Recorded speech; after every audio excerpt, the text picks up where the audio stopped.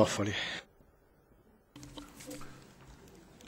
Grazie Presidente. Il contrabbando è già stato ricordato di sigarette costa ai contribuenti oltre 10 miliardi di euro all'anno, contribuenti ai governi dell'Unione Europea in perdite di getto fiscale. Si ritiene che una sigaretta fumata su 10, una su 10, lo scorso anno sia arrivata dal mercato nero È fondamentale dunque, concordo, adottare al più presto delle soluzioni a livello europeo ed internazionale in grado di contrastare questo fenomeno. Dico soluzioni europee e internazionali perché le rotte del contrabbando sono internazionali ed intercontinentali e il protocollo rappresenta sicuramente un passo nella giusta direzione Va garantita la sicurezza innanzitutto la salute dei cittadini perché il fumo è causa di patologie anche mortali, è un prodotto non controllato e ovviamente più pericoloso.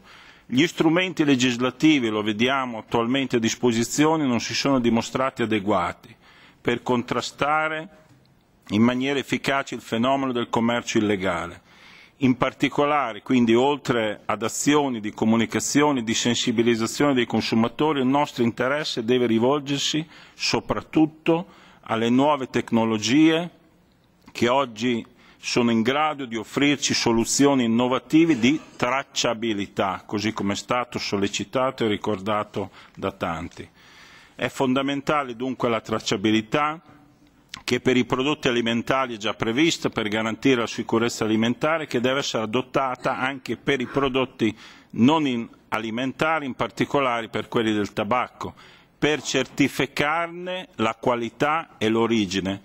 Nella fattispecie per l'Italia, che è il primo paese europeo per la produzione di, di tabacco, la tracciabilità è fondamentale fondamentale anche per non creare gravi disagi occupazionali in un comparto che impiega circa 50.000 addetti.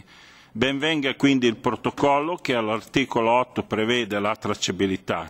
Le mie domande riguardano i tempi e se si pensa se avremo un sistema europeo di tracciabilità o se ci dovremmo ancora una volta accontentare di 28 sistemi nazionali con tutti i limiti del caso.